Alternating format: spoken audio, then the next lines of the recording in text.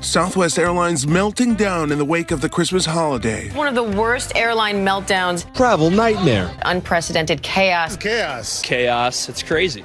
When Southwest Airlines underwent a historic meltdown during the Christmas travel season and canceled nearly 17,000 flights, politicians pounce like passengers on a second bag of free peanuts. Well, they need to take care of their passengers and they need to take care of their employees. It's an unacceptable situation. But what about the FAA?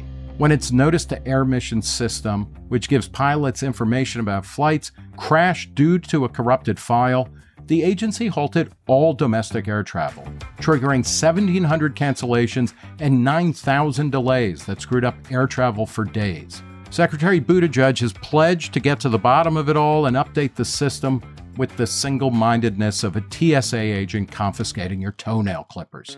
We'll be approaching Congress indicating the resources and strategy that we think we need for the next five years to make sure that FAA has everything that they need in terms of systems, resources, and staff. Don't expect much to happen anytime soon.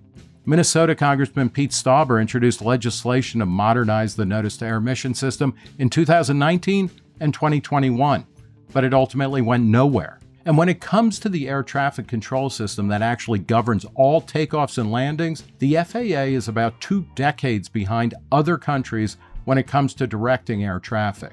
Back in 2009, Reason produced a video about how Canada and other countries had privatized air traffic control and saw delays decrease and safety increase. Canadians allowed NAV Canada, a private company, to manage their skies. So the next time your plane is delayed, think about why you're stuck. Maybe it's because of the weather, or maybe it's because of politics. What would actually produce safer, cheaper, and less disrupted air travel? More deregulation. Inflation adjusted ticket prices declined 60% between 1980 and 2020, which explains how air travel went from something only businessmen and the wealthy did to a common practice. But too many aspects of air travel remain under governments inept and stuck in the past control. Foreign owned airlines are blocked from competing with domestic carriers in the name of national security. The number, placement, and operation of airports are controlled by various levels of government, leading to insane monopolies and fewer flight options in places such as Atlanta, Denver, and Vegas. Even in today's less than free market, Southwest will have to fight like hell to win back customers by keeping prices low and performance high. The FAA and the government more generally doesn't face the same pressure.